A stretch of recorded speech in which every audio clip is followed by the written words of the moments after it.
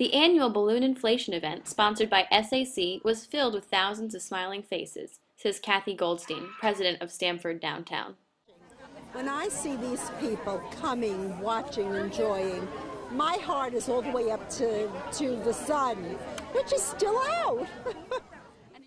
And the smiles only grew when Chuckles the Clown and his bunny rabbit Cotton Candy worked the crowd of excited kids. Well, I'm saying hi to everybody before the parade. We're watching the floats get really big, and everyone's getting their face painted and feather dusted and petting bunny rabbits. And he wasn't the only one there to mingle with the children.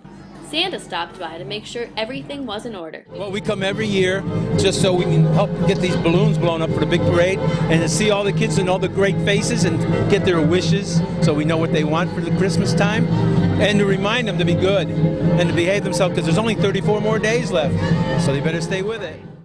Then, the Pink Man captivated a crowd with his giant leaps and superpower jumps. Well, I'm, we're here to inflate these, uh, these cool giant balloons and uh, get everybody ready for Thanksgiving parade. Today's event was in preparation for tomorrow's UBS Parade Spectacular, where downtown Stamford will be kicking off the holiday season.